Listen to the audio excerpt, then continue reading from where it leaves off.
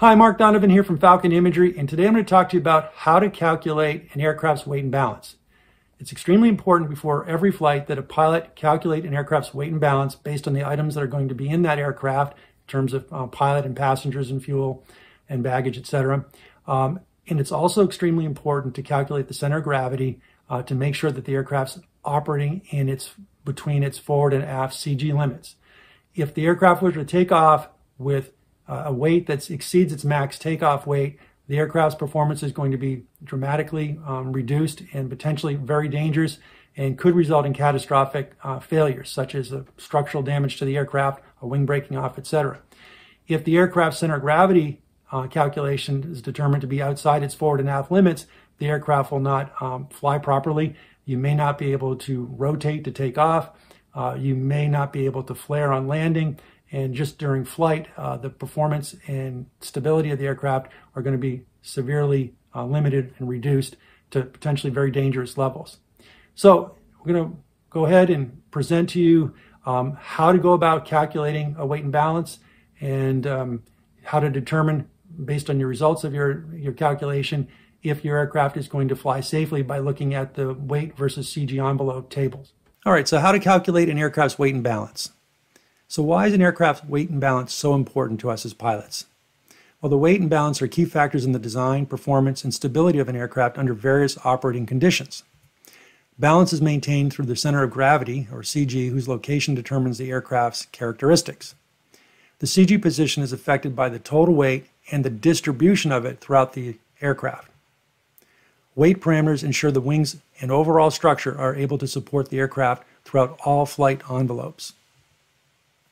Prior to every flight, pilots must determine the weight and balance to ensure the aircraft is operated in accordance with the Pilot Operating Handbook, or POH. So weight compliance is critical for aircraft flight safety. Operating above the aircraft max weight limitation compromises structural integrity of an aircraft and adversely affects its, affects its performance. If um, the weight is too great, uh, the plane may, may not make it off the ground. Even if it does get off the ground, however, if there's any turbulence um, or any types of um, significant movements or position changes of the aircraft. It could structurally damage the aircraft in terms of bending metal or even worse, uh, breaking metal, uh, such as ripping off a wing, uh, losing part of the uh, tail section, etc. So that's why it's so important to make sure that the aircraft is not exceeding the max gross weight uh, before takeoff. Um, in addition, excess weight reduces the flight performance in almost every respect um, with higher weight requires higher takeoff speed, longer takeoff runs, reduced rate and angle of climb, lower maximum altitude, shorter range. Um, it reduces cruising speed, reduces maneuverability of the aircraft. The aircraft will stall at a higher airspeed. Uh, there'll be a higher approach and landing speed and a longer landing roll. So, in addition to potentially um, structurally damage the aircraft and have a catastrophic failure in flight, uh, you have all these performance characteristics that are uh, reduced by having excess weight. So in order to do a weight and balance, we need to go over the key definitions uh, in calculating weight and, weight and balance. The first is the datum. This is known as the imaginary vertical plane from which the horizontal distances are measured for aircraft weight and balance. And if we look here in this picture here, uh, let's get the pointer options up, laser pointer. The datum for this particular Cessna Skyhawk is at the firewall. Okay. So it's just an imaginary vertical plane that the, the manufacturing aircraft decided to use for referencing for doing all of its weight and balance calculations. Stations. Stations are locations along the airplane fuselage relative to the datum. A station may be where the pilot and front passenger sit. This another station would be where the back passenger sit. Uh, another station would be the baggage area, and another station where the fuel is kept in the fuel tanks.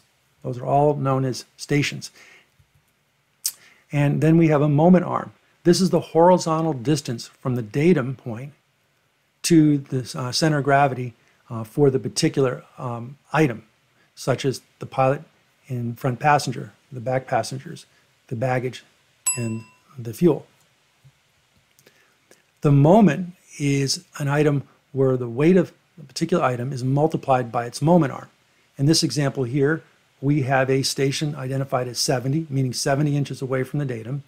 There is a 70 inch um, moment arm, and the weight at that point looks like it's like in the baggage area here, is 10 pounds. To calculate the moment, we multiply the 70 inches times the 10 pounds and get 70 inch pounds for a moment calculation.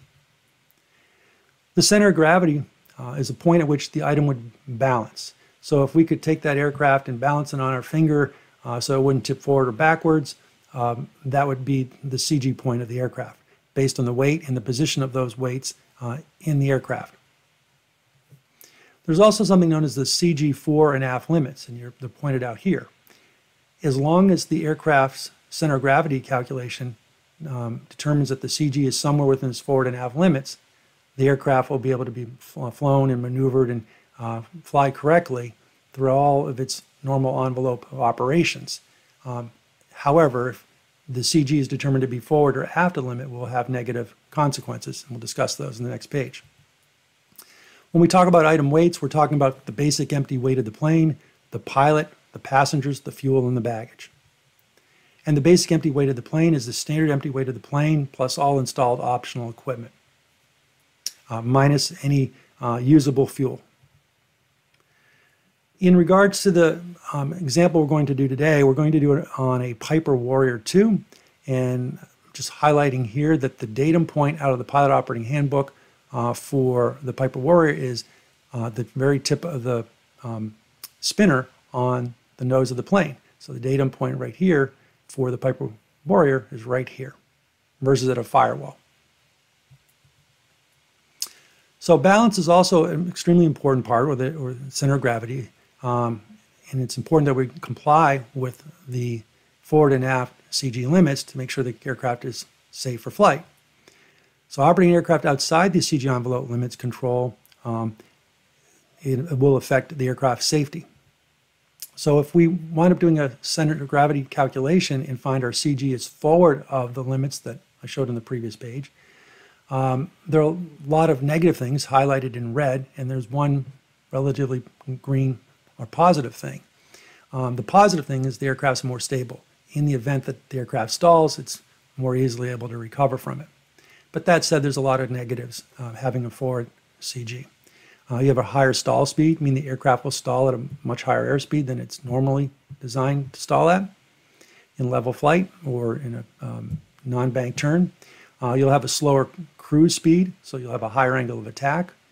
Uh, you may have insufficient elevator nose to flare for a landing. You'll need greater elevator back pressure required to try to make that flare happen on a landing or even to climb out you'll have poor climb performance and you're going to consume more fuel and time en route uh, with the forward CG.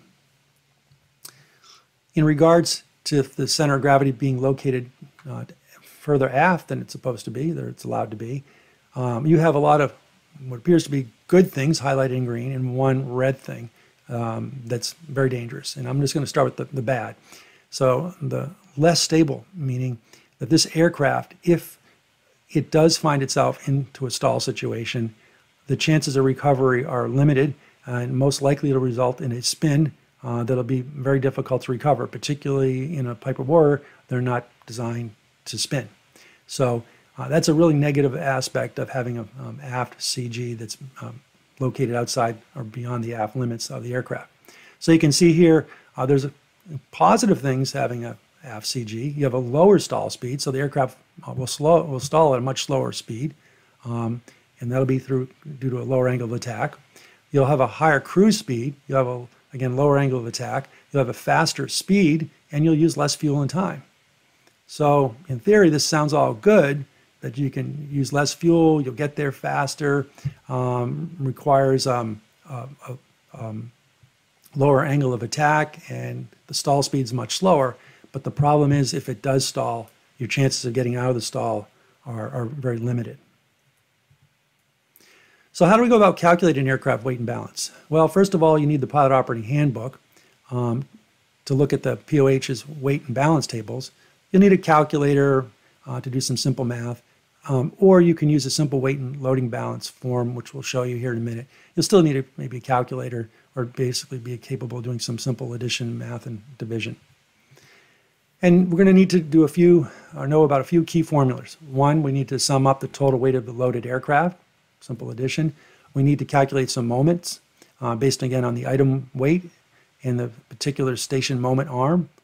And then we need to determine the aircraft center of gravity, which is taking the total sum of moments and divided by the, the total sum of weights that we added up. So again, how to calculate the aircraft's weight and balance. We're going to sum up all of um, the items in the aircraft, including the basic empty weight of the aircraft. So this includes the aircraft itself, the pilot and front passengers, the aft seat passengers, the baggage, and fuel. Uh, then we're going to calculate the moment for each item using the weight and balance loading graph, um, or just basically doing the, the, multiplications out ourselves. So we're going to calculate the moment by multiplying the item weight times the station moment arm, and again, getting the center of gravity by taking the total sum of moments and divided by the total sum of weights. And then once we calculate all that, we just take the sum of the moments divided by sum of weights and we get our aircraft CG and we'll look to see if it fits, that point fits within the envelope um, in the pilot operating handbook for operating the aircraft so that we're, we're ensure that we're within the forward and aft limit range um, for the CG. So this is a very simple table I put together. Uh, you see the items on the left, the basic empty weight of the aircraft, the pilot front passenger, the passengers themselves in the back seat, the fuel. Uh, this usable fuel in the Piper Warrior 2 is 48 gallons, and baggage max capacity is 200 pounds. So if we look at the first row, at the top here, we've got the weight in pounds, the arm half data point in inches. These numbers in black all come right out of the pilot operating handbook. You just have to pencil them in. Uh, similarly, the weight um, for the aircraft and the, the CG or arm for the basic empty weight of the airplane comes out of the POH or an, an, um, an update to it to reflect any additional equipment or changes in the overall weight in the CG of the basic empty weight of the plane. Um, the items, uh, then we have the moment in inch pounds. We basically they're multiplying the weight times the arm to get the inches pound. And then in some cases, it makes sense to divide that number by a thousand and um, use basically make this makes the math a little bit easier. So instead of 127,804, it's 127.804. Um, over here in red, these the variables that we put in as pilots, the weight of the front passenger and the pilot, the weight of the pa passengers in the back. It could be just some a baggage, could be a flight bag. Uh, the weight of the fuel, uh, there's six pounds per gallon for fuel uh, for avgas, and then the baggage. In this case, we used 20 pounds. So we were in full tanks and 20 pounds, 150 pound passenger in the uh, back seat, and a couple, a pilot and, a, and another passenger in the front seat. So we do the simple multiplication here for each one of those. So 360 times 80.5 equals 28,980 divided by 1,000, 28.98. 28.98. And we do this for all of the various items, uh, weight items in the aircraft. We then sum up all the weights, which equal 2,306 pounds. We sum up all the moments, which equal 204,715 pounds. And again, I summed up the moments uh, with the numbers divided by 1,000. Then we just take the total moments, 204,715 divided by 2306, and we get a center gravity calculation of 88.7 inches. So again, for notes here, Values can be calculated by multiplying the weight times the arm, which is what we just did here, and then dividing by 1,000, or we can pull them from a loading graph table, which I'll show you an example on the next page. The red uh, items are things that the pilot in command uh, enters about the, the, items that are going to be in the plane. The green is what's calculated. Um, we're doing this for the normal category. In a utility category application, there could be no luggage or rear passengers allowed if we're going to operate this aircraft in the utility range versus the normal range, and we'll show that in a moment. Um, so there are some balanced loading graphs that help make the mathematics a little bit easier. So you can, with a chart like this that's in the pilot operating handbook, you can pick the weight of 360 pounds, come over to the pilot and front passenger, and come down here and determine the moment um, for divided by 1,000 uh, for that particular weight for the pilot and front passenger. And you can do for the back passengers, the fuel, and the baggage as well. So it makes the math a little bit easier. And again, there's loading lines, so again, for the pilot front passengers, the aft passengers, the fuel and baggage. So once we calculate um, that center of gravity and the max gross weight, which I've kind of reiterated here, in this case, 2,306 pounds, 88.7 inches, 77 inches, we plot it um, on the weight versus CG envelope uh, table or chart or graph that's you can find in the POH. And you'll notice here, this is the normal category, and then this is the utility category. Uh, we're going to just talk today about the normal category, but you can see the point sits within the envelope, and that's a good thing.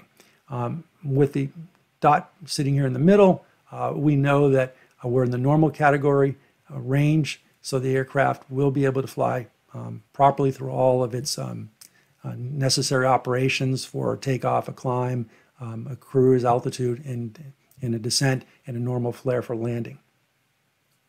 Um, if the CG had been outside the envelope, on forward or, or aft of it, we'd have the appropriate types of concerns that I highlighted uh, a few slides back. Um, last kind of comment here is there's common errors that typically show up when doing these calculations basically improperly or incorrectly reading the information off the loading graph if you decide to use that versus doing the multiplication out for your moments. Uh, simple math errors. And the intersection point, basically determine the intersection point of the weight and CG value on the uh, graph um, that, that we were just showing in the previous page. So that's how we calculate an aircraft's weight and balance. Um, in this particular example, I only did it for the takeoff condition. You should also do it for the landing uh, condition as well after an aircraft is flown for a period of time, it's consumed fuel. Uh, with less fuel in the aircraft, the center of gravity is going to change. Typically, in these smaller GA planes, as you lose the fuel, uh, your weight's going to go down and your center of gravity is going to move forward a little bit. Usually, it's not going to go outside your envelope, but there's always that risk, particularly if it's in a, a different type of aircraft other than a PA 28, uh, Piper Warrior 2 here that we had.